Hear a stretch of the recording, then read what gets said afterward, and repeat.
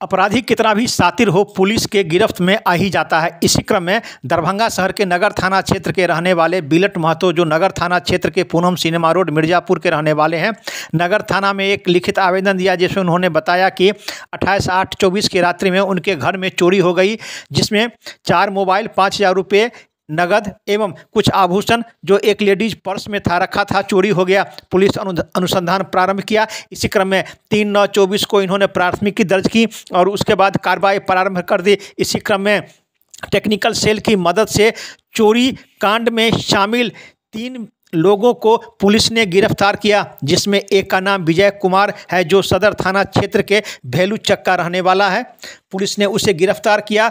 वहीं दो लोगों को और पुलिस ने गिरफ़्तार किया, जिसमें एक का नाम राकेश शाह जो बेता थाना का रहने वाला है, उसे गिरफ़्तार किया। उसके बाद चोरी में बेचे गए आभूषण को खरीदने वाले दुकानदार सुनील कुमार धोएघाट, जो सदर थाना क्षेत्र में पड़ता है उसने आभूषण उस दुकान में, ये दोनों लोगों ने उसे बेचा था। उस दुकानदार जो सुनील कुमार है, उसे भी पुलिस ने किया गिरफ़्तार। वहीं चोरी के चार मोबाइल, लेडीज़ पर्स, पाँच हज़ार रुपये बरामद किया गया। वहीं आभूषण, दुकानदार ने बताया कि तीस हज़ार रुपये में हमने खरीदा था, उसे हमने बेच दिया।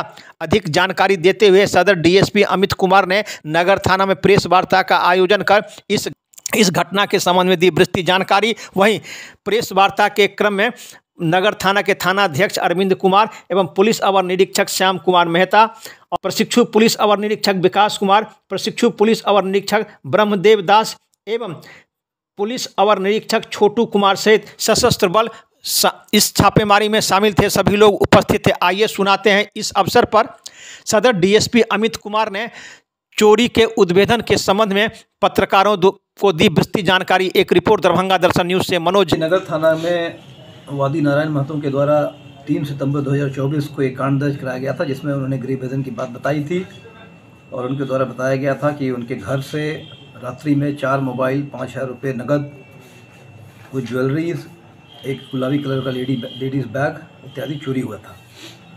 कांड में तत्परता दिखाते हुए सारा टेक्निकल एनालिसिस इन्वेस्टिगेशन करते हुए नगर थाना अध्यक्ष के द्वारा और टीम में शामिल अन्य पदाधिकारियों के साथ सहयोग से जो कांड में शामिल थे, उन्हें धर दबोचा गया है। और जैसा कि आप देख सकते हैं, जो लेडीज़ बैग चोरी हुई थी, वो लेडीज़ बैग यहाँ है। जिस पाँच हज़ार रुपये की बात थी, वो पाँच हज़ार रुपये उसी बैग में मौजूद थे। तीन मोबाइल जो चोरी किए गए थे, चार मोबाइल वो बरामद किए गए हैं। इसके अलावा ज्वेलरी का जो आइटम जो इन्होंने जिस आभूषण विक्रेता के यहाँ बेचा था, उनके यहाँ जाकर उनसे भी पूछताछ की कि उन्हें भी हिरासत में लिया गया है। और इनके द्वारा भी स्वीकार किया गया है कि जो ज्वेलरी का आइटम उन्होंने ख़रीदा था उसे उन्होंने गलाकर दूसरा सामान बनाकर अन्यत्र किसी को बेच दिया है। इसलिए उनकी भी संलिप्तता पाई जाती है। यही मामला है। सर ये तीनों जो पकड़ाए हैं अपराधी वो कहाँ के रहने वाले हैं और इन्होंने सर क्या कुछ आपको जानकारी दी? देखिए अपराधियों के नाम है विजय कुमार पिता हरि महतो राकेश शाह पिता गजेंद्र शाह सुनील शाह पिता सुरेश शाह। दो बेता थाना अवस्थित अलपट्टी के रहने वाले हैं और एक सदर थाना के बेलूचक के रहने वाले हैं। तीनों दरभंगा ज़िले के हैं। इनके आपराधिक इतिहास को पता किया जा रहा है छानबीन की जा रही है इनसे और विशेष पूछताछ की जा रही है। इनका जो मॉडल अप्रेंडी है कोई और टीम है इनकी इनके टीम के और सदस्य और गैंग जो इस तरह से काम करते हैं उस सब पर जाँच पड़ताल की जा रही है।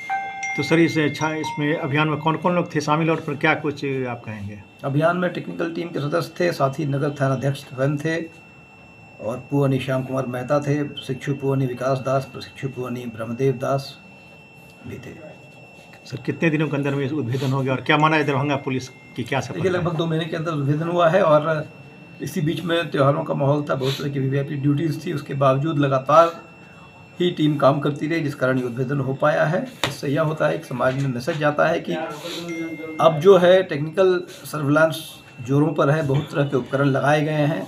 ट्रेन का मौसम आने वाला है और भी सघनता रहेगी हमारे पेट्रोलिंग में, हमारे प्रयास में, ताकि इस तरह की घटनाओं को रोका जा सके और जो हो रहे हैं उन्हें डिटेक्ट किया जा सके।